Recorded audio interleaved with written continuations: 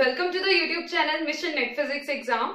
And guys, today in this video, I am going to discuss a question in which we need to find the total time derivative of any given variable. And this is a very important question for the upcoming Net Physics exam, GATE Physics, JEST, TIFR and all other physics entrance exams. So I am going to discuss one question here which has been asked in the NET December 2018 CSIR NET Physics exam. So guys, I hope that the concepts related to this question and the steps which you need to take uh, to solve such kind of questions will get clear once you are going to watch this video till the end.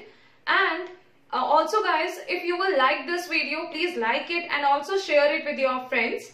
And along with this, if you are new on this channel, then what you can do, you can subscribe the channel and press the bell icon to get the notifications for all the new upcoming videos on this channel.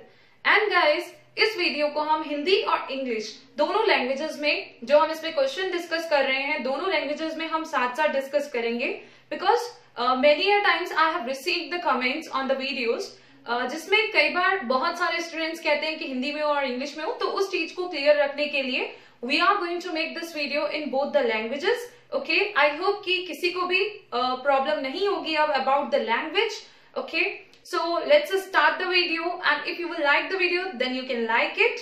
Okay? So chaliye abhi start karte hain and i hope that after watching the uh, the steps we are going to take to solve this question. You will find such kind of questions very easy. Okay? So guys here is the question which has been asked in the net december 2018 exam. So the question is the hamiltonian of a classical one dimensional harmonic oscillator is h is equal to 1 upon 2 p square plus x square. in suitable units, the total time derivative of the dynamical variable t plus square root 2x is. So, basically what has been given to us in the question.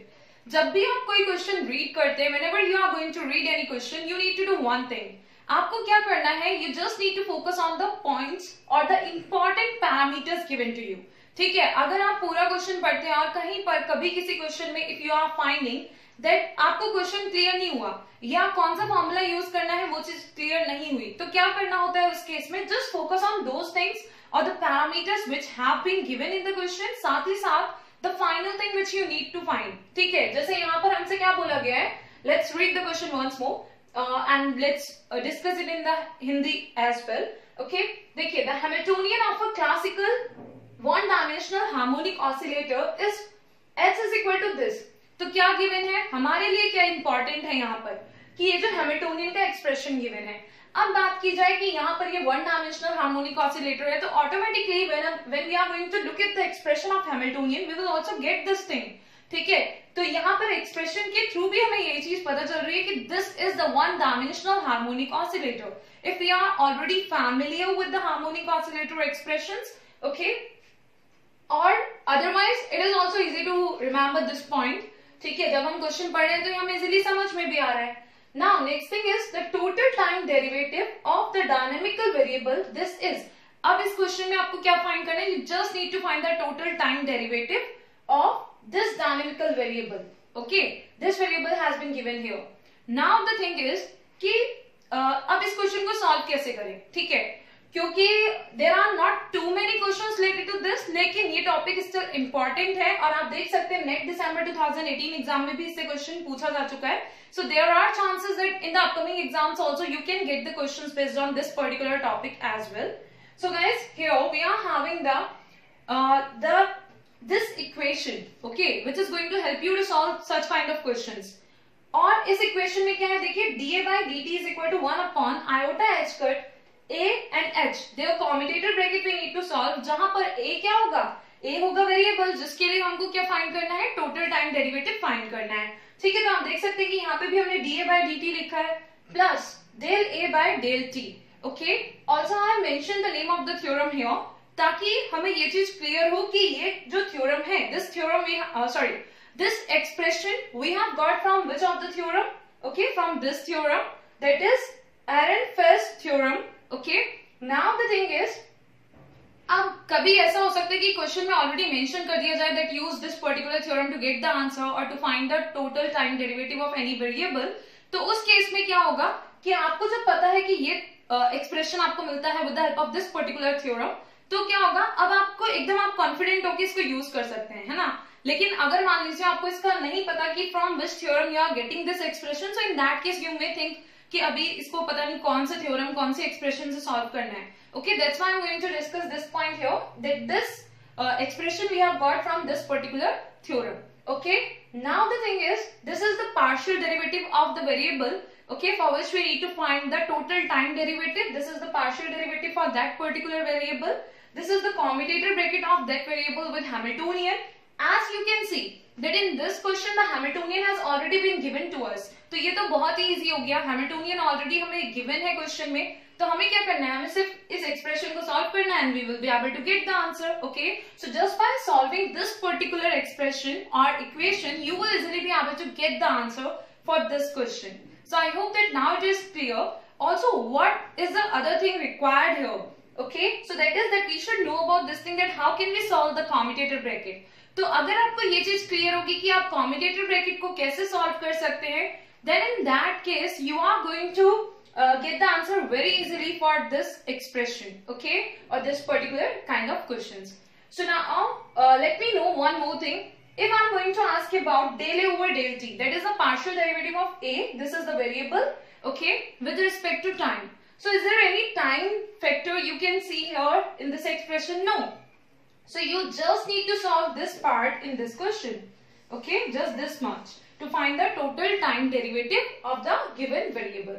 Now the rest of the things are, we just need to find the commutator bracket for the A and H. A is this, H is this.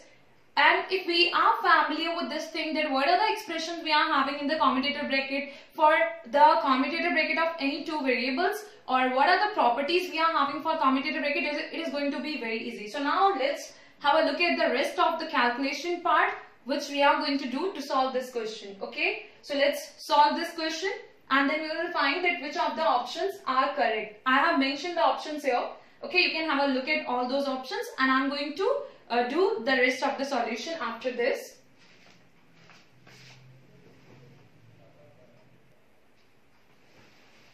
So guys, here we are having the complete solution of this particular question. Because we all know that del over del T will get vanished.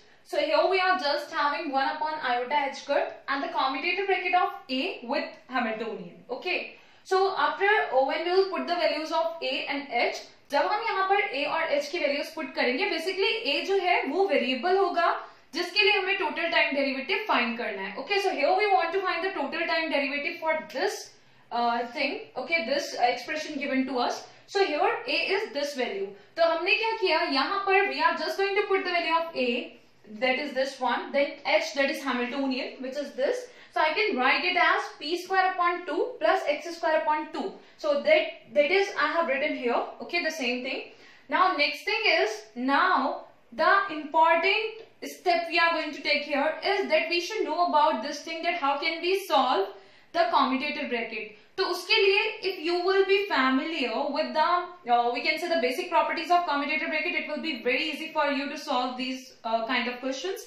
और commutator bracket भी एक बहुत important topic है तो कोशिश कीजिए कि commutator bracket पर भी आपकी एक अच्छी कमांड हो ठीक है? क्योंकि उससे रिलेटेड अगर क्वेश्चन आएगा तो आप उसको सॉल्व कर पाए okay so that's why it is important to know about this thing that how can we solve the commutator brackets I am going to focus on this point because it is like the main thing अगर हमें पता है कि कौन से equation हमें total time derivative find करना है बट हमें ये नहीं पता कि हम कॉम्पिटेटिव ब्रैकेट को कैसे सॉल्व कर सकते हैं so we will face any difficulty in these steps and to get the final answer so guys here what we are going to do अगर आप p एंड p स्क्वायर मतलब p का, p के किसी function के साथ में ही आप कॉम्पिटेटिव ब्रैकेट फाइंड करते हैं so what you will get you are not going to get any value from there you will get zero इसी तरह से x का x स्क्वायर के साथ में again you will get zero ठीक है? When you will solve the commutator bracket तो क्या टर्म्स मिलेंगे आपको यहाँ पे?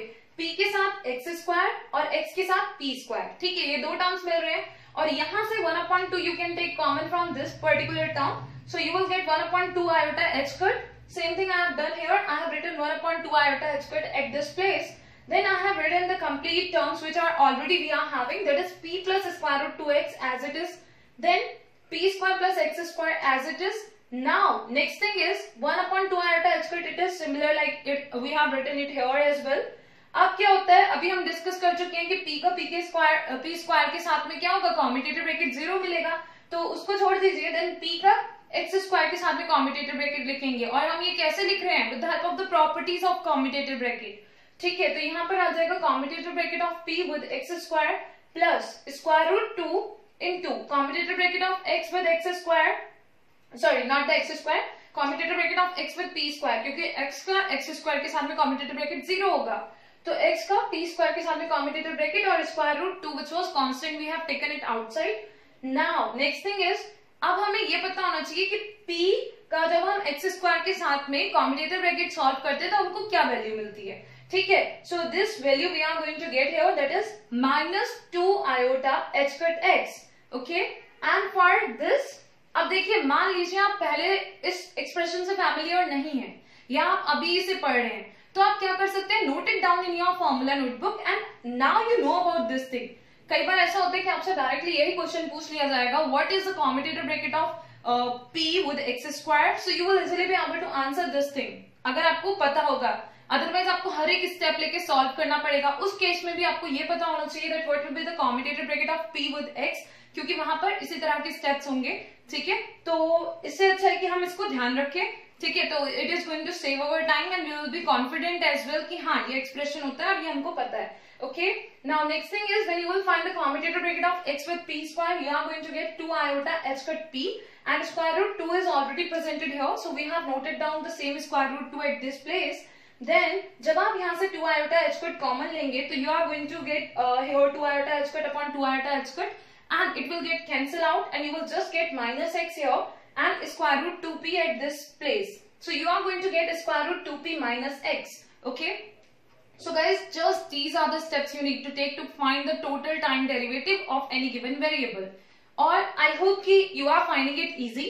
ठीक है कुछ ऐसा कोई अलग सा स्टेप हमने नहीं लिया है हमने सारे सिर्फ़ कैलकुलेशन ही किया है यहाँ पर मेन तो वही था कि इक्वेशन हमें पता हो और कॉम्पिटेटिव ब्रैकेट की प्रॉपर्टीज़ हमें पता है then it is very easy for us to solve such kind of questions. Okay. So guys, I hope that whatever things I have discussed in this video will be clear to everyone. And this is the final answer we are getting. okay, तो options जो लिखे थे आप उसमें check कर लीजिएगा कि कौन सा option I think first option होगा ये वाला ठीक है बट स्टिल लेट्स से कि आंसर आ गया क्या स्टेप्स थे अगर वो भी क्लियर है तो भी it is very good okay So guys, thank you very much for watching this video till the end. I hope that this is going to help you to understand this thing that how can you find out the total time derivative of any given variable. So guys, if you liked the video, please like it, share it with your friends and also if you are new on this channel, then subscribe the channel and press the bell icon to get the notifications for all the new upcoming videos on this channel. Thank you and keep on watching all other videos on this channel. I hope that the videos are going to help you to prepare for the exam. Thank you.